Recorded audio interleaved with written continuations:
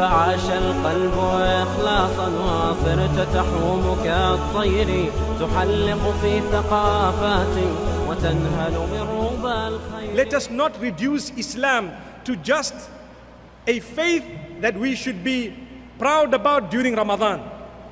Once Ramadan goes, it's over. Everything goes. Our dress code goes.